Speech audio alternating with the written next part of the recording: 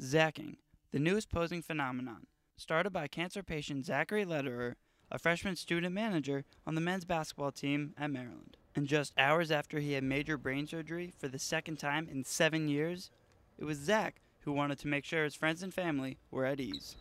In my mind, the only thing I wanted to do was get the point across that if you were at all worried that Zachary Lederer was going to be okay coming out of the surgery, I wanted to make it very clear that, you know, here I am st- strong as ever, and I feel great. Zach is one of roughly 12 million people battling cancer in the U.S., according to the National Institutes of Health. But when the disease afflicts someone close to you, head coach Mark Turgeon says that's when it really hits home. I think our guys being the same age makes them feel fortunate for what they have. They have their health, you know, and, and you don't appreciate your health till you don't have it. We all we all know that. But he still got to wipe the floors. He does everything everybody do, so it's hard to treat him different.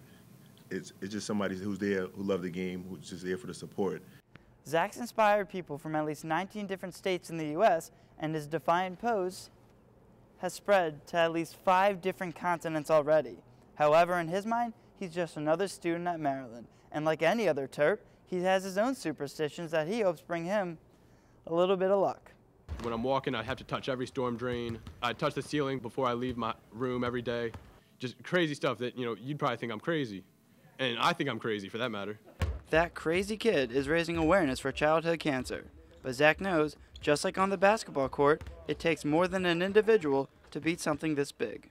People don't realize that I'm not going to beat cancer alone. You know, my community is going to beat cancer, my family is going to beat cancer, my doctors are going to beat cancer. Uh, you know, Zachary Lederer is going to be the byproduct of the world beating cancer.